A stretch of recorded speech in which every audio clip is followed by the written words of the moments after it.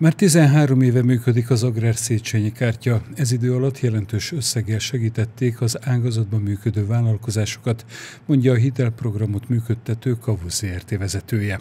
Közel 1300 milliárd forint került ki eddig csak a Széchenyi kártya agrárverziójában az agrárvállalkozásokhoz. És az agráriumot ne úgy értsük, hogy a, a nagy mezőgazdasági feldolgozók, hanem értsük a, az őstermelőket, értsük benne a családi vállalkozásokat, értsük benne a, az egészen apró, az öcséket, mindenkit értsünk bele, aki ebben, aki ebben érintett, élelmiszerfeldolgozástól egészen a termelő növénytermesztés, állattenyésztés, hal, gazdálkodás. Baranyában is sokan éltek a lehetőséggel, így a Vármegyébe is jelentős összeg érkezett a kedvezményes hitelfelvételi lehetőségből.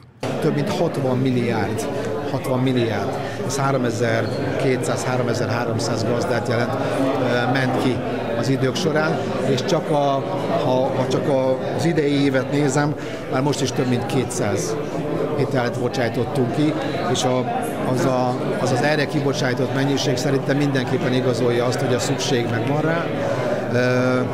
Ugye csapataink azon egyeztettek most éppen, hogy a, az újabb asszályhelyzet, ami most sajnos beütött az országból újra, hogy arra vonatkozólag esetleg nézzük meg, hogy van-e valami a kárenyhítő programokon kívül van egyéb lehetőség. Krizsán László elmondta, hogy az állami kamattámogatási rendszernek köszönhetően ők tudják nyújtani a legolcsóbb pénzforrást a vállalkozásoknak.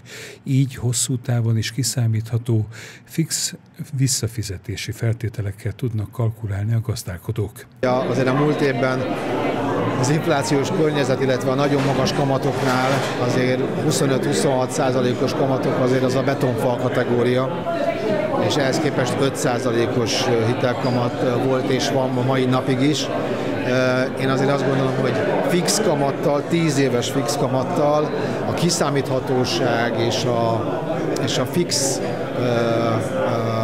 való lehetőség az egy óriási segítség egy gazda számára, hiszen tudja, hogy, hogy ha ma fölvesz egy hitelt, akkor az 2034 végén is ugyanazon a, a törlesztő részlettel fog visszafizetődni. A vezérigazgató elmondta még, hogy társaságok alapvető célja a lehető legtöbb banki módszerekkel nem vagy nem megfelelően finanszírozott hazai mikro- és kisvállalkozás hitelhez jutásának javítása.